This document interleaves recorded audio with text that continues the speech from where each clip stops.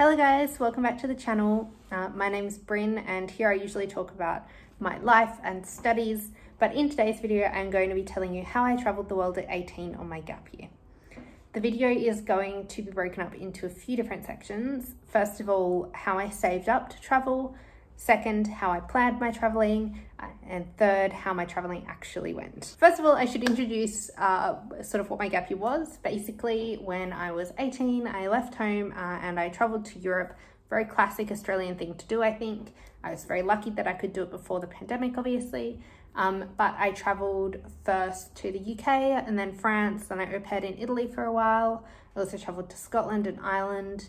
Um, and then later I lived in the UK and then after that I lived in Spain for a bit with my partner as well.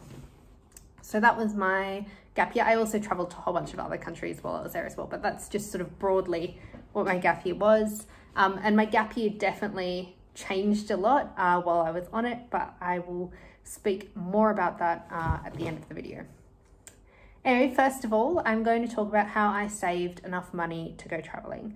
Now, obviously, traveling can be quite a big expense, especially flights from Australia. They run, you know, in the thousands of dollars to get from Australia to Europe. So I think that that's definitely something to think about. I was uh, very lucky in a way, I suppose, that I'd worked a lot of my teenage years. So I had a lot of money saved up and, you know, money from birthdays and stuff as well. But by the time I left Australia, I had about $25,000, maybe, I think I had about 27,000 saved up um, at 18 and I decided that I would like to travel with that money. I didn't buy a car or anything when I was in high school. Um, I just worked and saved pretty much uh, to go traveling with. Um, and obviously, I would say that if you can get uh, a job and start work when you're uh, in high school, I think that that's a really good way to gain experience, especially just working in something like a cafe. I worked in restaurant, I worked dairy, but working like that is a really good way to save a little bit of money for travel if you're interested in going overseas. Bear in mind, you don't have to save up as much as I did. You don't have to go for a year. You can go for a month if you want. You can go on one of the Contiki tours. Like there are so many different things that you can do to, to travel the world when you're younger. You don't necessarily need to go on a gap year and, you know, fully live and work overseas. That's not for everyone and that's fine. Um, in saying that though, I should mention that it's incredibly expensive uh, to fly, as I said, to get visas. Um, the British visa was very expensive because you have to pay a health surcharge. Uh, the EU visa is not expensive at all. Um, it's like 70 bucks. You just rock up to the office and you get it. Um, the British one was definitely more expensive though. Um, so yeah, that was the financial side of things. And I, for the first month and a half, I backpacked, uh, staying in hostels. I was solo traveling. Then I lived in Italy for a while as an au pair. If you're interested in hearing my au pair story, check out next week's podcast. Not next week, the week after. The week after's podcast. I'll tell you all about uh, my time as an au pair, which was riveting to say the least. Um, but yeah, I was an au pair for a few months, and then after that, I left. I left that job and I stayed in Rome for about a month in a hostel, which was just like pissing money down the drain. Um, and then I went on and lived in England for 11 months. And obviously, when I was in England, I was working, so then I was uh, making back a bit of the money that I had spent while traveling around. I definitely wouldn't say I regret spending the money. I think that spending the money was the best thing I could have done at the time. Obviously, I've met my partner, I've had these amazing experiences all over the world. So I think that I have no regrets. Money that I ended up spending overseas. And I don't actually know what it was because I never kept track of it. Um, but yeah, it, it costs a lot to travel like that, I think. Um, anyway, moving on, I'm going to tell you how I planned my gap year. Now, I am a planner at heart, and you should all know that already. You know how many uh, how many bloody planning systems I have. So, planning my gap year was something that was fun and fairly easy for me. Um, but basically, I started off uh, by making a list of all of the countries in Europe, countries that I really wanted to visit, countries that I would visit but didn't mind about, uh, and countries I wouldn't visit at all. Because there some countries I just didn't feel particularly safe in or interested in going to. Um, and then from that, I made a plan of uh, for these first few weeks that I'm in Europe, this is where I'll go. Um, and I came up with uh, four or five countries that I want to travel to in the first few weeks before I was going to live in Italy as an au pair. Uh, from that, I made a map of every town that I wanted to stop in uh, and the things to do in that town and how I would go on my walking tour around the town. Now, I get that that level of planning is probably too much for most people. I get that. Um, but I really enjoyed doing that. So that's what I did. I also found, you know, obviously do a lot of research into hostels and hotels and places to stay and things like that. Um, reading all of the reviews, obviously. Um, and yeah, that was, then I would write down the information of each of the hotels. So my parents had it if they needed to have it. It was on like an Excel spreadsheet, um, the addresses, the phone numbers, everything.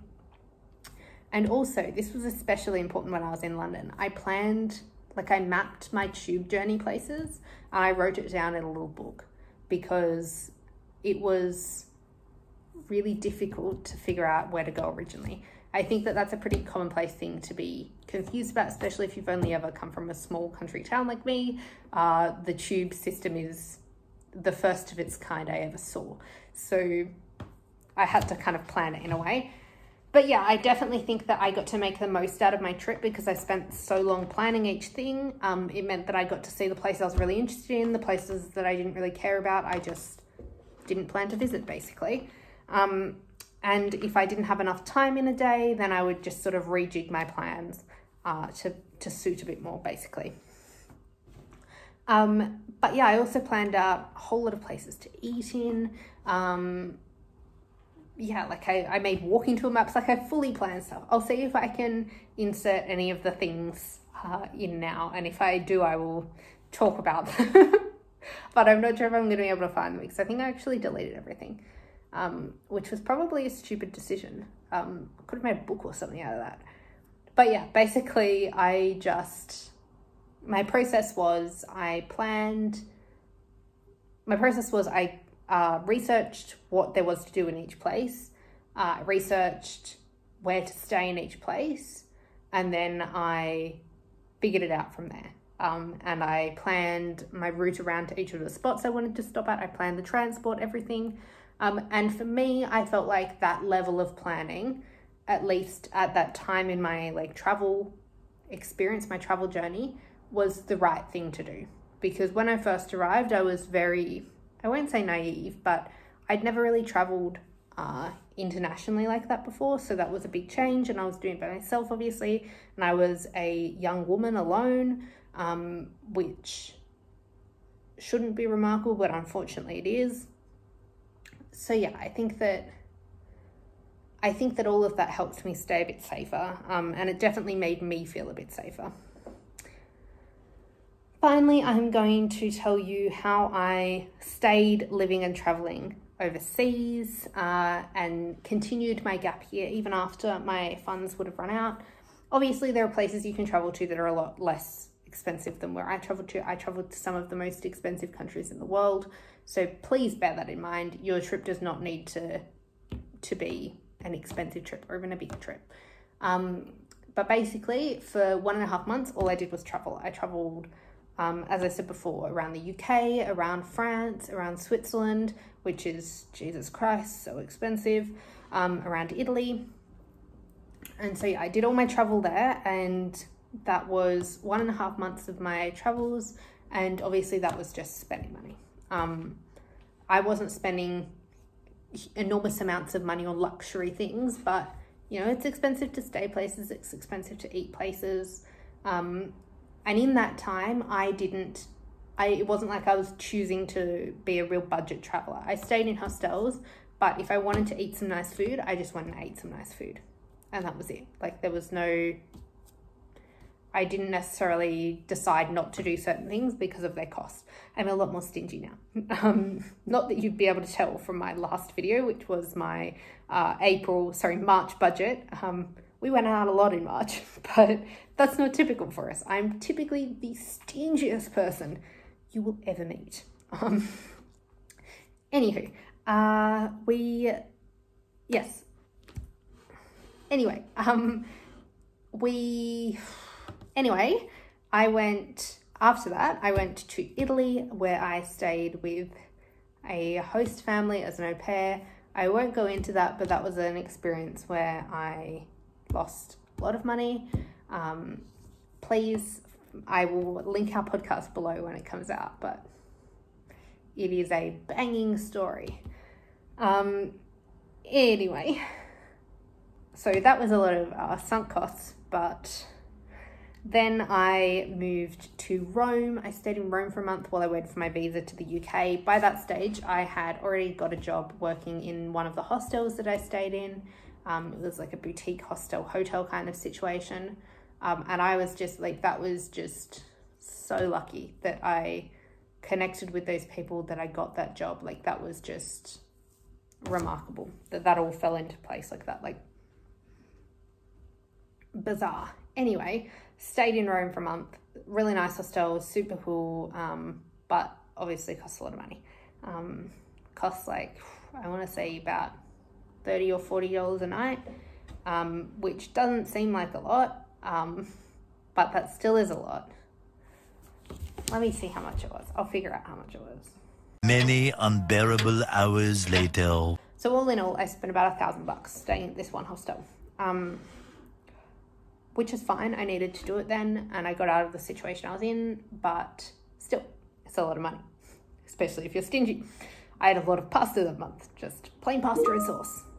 Um, sorry, I my computer's making some baby noises, but that's fine. Um, there, yeah, then I moved to the UK, and when I was in the UK, I was obviously being paid minimum wage. Uh, I wasn't even being paid London uh, living wage, but that's a pretty common thing. Uh, minimum wage in the UK is far lower than living wage. Um, living wage in London is eleven pounds, I think, and I was being paid about nine. Um, so that was a challenge, but I still saved some money while I was there, um, and yeah, I basically I had enough to live on but that was just because, as I said before, I'm kind of stingy. Um, but yeah, I, I lived there, I traveled, I stayed in multiple different share houses. The cost of housing in London is really high, so that was definitely a big expense for me. But apart from that, I just traveled, um, I spent time with my friends, all of that. Um, and yeah, I was lucky enough to find a job so that I could continue to travel and continue to live overseas. If I didn't have that job, though, I definitely would have had to have come home sooner because I was in such an expensive country. Um, yeah, anyway, I hope you guys enjoyed hearing this sort of story time, uh, informative, I'm not sure video. Um, but yeah, anyway, I hope you enjoyed, and I will see you again next week. Bye.